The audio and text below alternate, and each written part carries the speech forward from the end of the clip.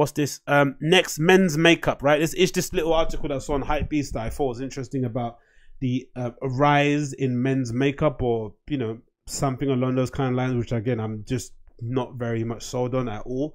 Um, I just think it's gonna it's gonna take a big big cultural shift to get guys to to you know to want to put makeup on their face outside of you know because again i think i've i thought of it myself because nowadays when i whenever i kind of do my self-care or my kind of daily you know um, skincare regime it mostly just involves putting moisturizer on right but in the last few months i've started to get um, these um, oils that i've kind of mixed with my cocoa butter or whatever it may be and that kind of allows me to kind of get a bit more of a sheen on my face right so it's these kind of really nice oils that you can put some of them are fragrance and effectively I put them into a small pot, mix it around, and kind of add, add that and kind of apply it to my face, just kind of give myself a bit of a glow.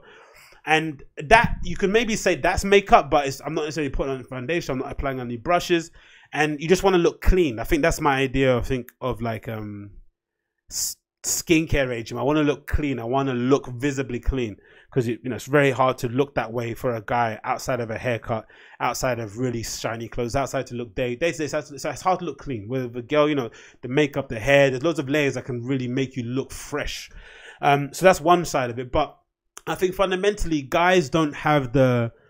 We just, I don't, I just, I'm talking from a heterosexual male point of view. I just don't think we have the the desire to look pretty or to look good I don't think so. I think for the most part, uh, a heterosexual male's desire to look attractive or to look very well put together is to attract the opposite sex or somebody else that they want to get into a romantic or sexual uh, relationship with. That's what the most reason was, right? Like I know for me, when I started to lose weight or when I started to kind of wear nice clothes, I just went to fuck. That was it, right? I wanted to improve the level of women I was able to attract by working out and by wearing nicer clothes or by trying to appeal to a broader range of women, right? Essentially, what you want to do. Um, but it, it would need to, I think, men's makeup for it to kind of really permeate and to kind of gain footing. There would need to be a shift in the in the in way in the way that how men uh, put themselves together and and the intentions, right? Because it's very unlikely. No, you don't really see many guys that just go out and get dressed up really to you know dress up to the nine just to kind of hang out. It does not really exist outside of fashion dudes, right? Outside of guys that care about brands and care about logos and care about labels and care about houses and care about history, uh, culture and all that sort of malarkey. Outside of those guys, you won't really go into Wetherspoons and see like a random dude just like dressed to the nines in like a Savile Row suit who isn't on the pool, right? For the most part, guys that dress really well are on the pool. They want to attract a mate, or they want to attract uh, somebody that they want to be romantically involved in. So I think that would have to change. Guys would have to want to go out and just look cute for themselves, right? Which sounds fucking weird. And then then the makeup thing might um, come into it. But then again, there's also a little. There's also something. There's also like something about. I, I don't know why, but guys have something against other guys who take too much care with themselves, right? David Beckham being a good example of it, right? So most guys, some guys hated David Beckham because he really took pride in his appearance. And there is something about there is, I don't know what it is about dudes that really get annoyed with someone that cares about the appearance. Maybe because it's a vanity thing. Maybe it goes back to like you know um, hunter gatherer era where maybe that guy was the one that was snitching, that guy was the one that was kind of trying to get out of going on a hunt. I don't know what it is, but it's something about a guy that takes care of themselves that really rubs some dudes up the wrong way. So until those things change, I don't think we're gonna see men's makeup really permeate within like um uh, within the general public or within men in general. I think out, you know, I, I think even the kind of Geordie Shore guy would kind of be hard pressed to kind of be taken seriously with a full face of makeup uh, in amongst his friends. I don't think that would work because those guys really care a lot about their appearance, right? They go underneath sun bears, they get waxes, they work out insane amounts, like they wear really tight clothes, show off their muscles. But I think even those guys would be hard pressed to kind of go day by day wearing foundation or eyeliner and all that sort of malarkey again, um, I would like to see it because I think there is something to be said for that kind of freshness look, right? That kind of wanting to look clean. But I just don't know whether or not guys want to look pretty. That's the thing that I'm kind of on the fence about. Again, um, I'm not sure who's going to do it. Someone might do it. We might see Rihanna kind of permeate it. But I think, you know, even if ASAP Rocky brought out a makeup line, I don't think a lot of guys would want to buy into it. Or even someone like a Pharrell who's kind of well regarded or heralded for his skincare regime and looking really young. I think um, the only way it will kind of work again is from the kind of moisturizing exfoliation kind of point of view. But I don't think the quote unquote brushing of the face will work for dudes overall. Just my opinion in general. I don't think necessarily guys will kind of really be up for that. Um, and da, da, da, da, da. and this kind of um lends itself a little bit to this interview that I saw with uh Sies Marjan. I don't know how you pronounce his name. Sies Marjan. Uh, he's a Dutch, um, New York-based designer who's kind of really hotting up.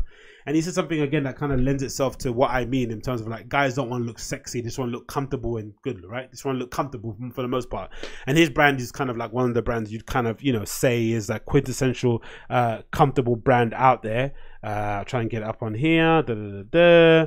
So this guy called Sis Major, and he makes these amazing clothes, sort of like um a better, should I say better version of our legacy, but like you imagine how our legacy is, right? Really comfortable, boxy shapes, and um, I'll get some of it up on your screen. So really comfortable shapes, uh, nice silhouettes. Um, everything's very floaty and kind of you know looks really good on the body, like loads of nice silks and wools and stuff.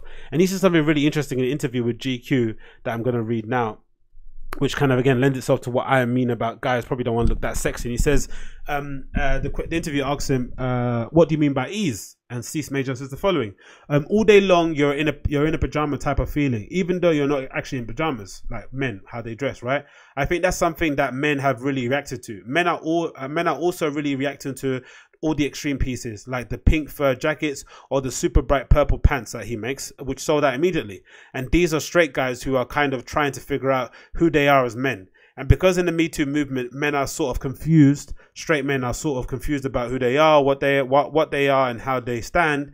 The solution maybe is wearing a pink fur jacket because that shows another side, and I think that's really great, right? Because you're, you know, as again, I think as a heterosexual male myself, that's something that's always been quite difficult, right? How do you because I've always how do you kind of um you know display your masculinity right but also the femininity side of you right the softness right without it being a little bit too hard too aggressive because you know we will have varying interests that kind of are, are, are at odds with the traditional masculine energy that exists and for the most part um, the only way to do it for a guy is by the clothes you wear, right? Um, intellectually or you know culturally is hard because I'd have to talk to you to kind of find out that you're into theatre or you like reading books or whatever like but then the one instant way to do it is by the clothes that you wear to kind of like get, kind of um soften um, the harshness of you or, or what you're about and fashion does a really good job of doing that. So I think in general um, for the most part, I think in a fashion world that's happening, right? You're seeing a lot more guys, you know, um, wearing uh, women's blouses and integrating them in their outfits, whether it's old Celine and stuff like that.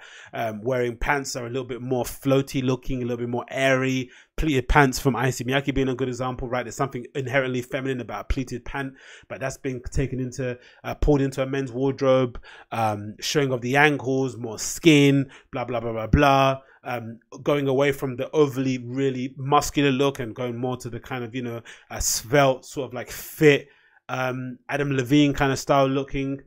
There is something to be said for it, but again, I just think we're far, far, far away, away, away, away from men kind of having you know a, a makeup kit and then kind of you know powdering their face in between uh, meals when they're out. I just don't think that's something that's gonna on the cards at the moment. But again, it might happen over time.